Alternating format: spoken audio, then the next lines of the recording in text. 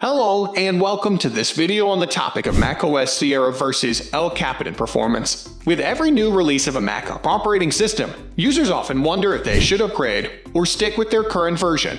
In this video, we'll be comparing the performance of macOS Sierra and El Capitan to help you decide which one is better for you. So, let's get started.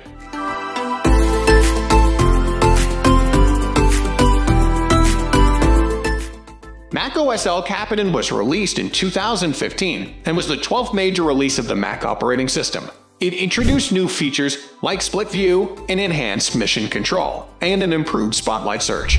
In 2016, Apple released macOS Sierra, the 13th major release of the Mac operating system. Sierra introduced features like Siri integration, auto unlock with Apple Watch, and iCloud desktop and documents. One of the most important factors in the performance of an operating system is how quickly it can boot up. We tested both El Capitan and Sierra on the MacBook Pro from mid-2015 with a 2.5 GHz Intel Core i7 processor and 16 GB of RAM. El Capitan took 22 seconds to boot up while Sierra took 24 seconds. While the difference in boot times is only a few seconds, El Capitan comes out ahead in this category. Another important factor in performance is how quickly applications launch. We tested the launch times of several applications including Safari, Pages, and Final Cut Pro on both El Capitan and Sierra. In our tests, El Capitan was consistently faster at launching applications. Safari launched in 1.5 seconds on El Capitan and 2 seconds on Sierra. Pages launched in 2.5 seconds on El Capitan and 3 seconds on Sierra, Final Cut Pro launched in 6 seconds on El Capitan and 8 seconds on Sierra. Again, El Capitan takes the lead in this category. Battery life is an essential factor to consider, especially for those who use their MacBooks on the go. We conducted a battery life test by playing a 1008i video on loop with screen brightness set to 50% and volume at 50%.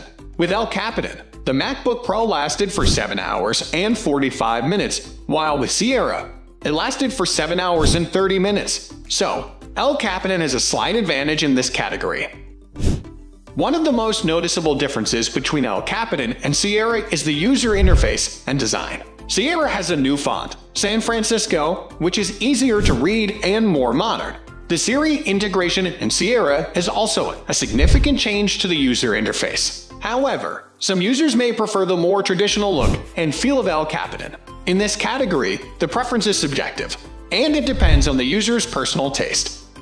While Sierra has some great new features, El Capitan wins in terms of performance. It has faster boot times, quicker application launch times, and longer battery life than Sierra. However, if you prefer a more modern user interface and design and want to take advantage of new features like Siri integration and auto unlock with Apple Watch, then Sierra may be the better choice for you. Ultimately, it comes down to personal preference and the specific needs of each user.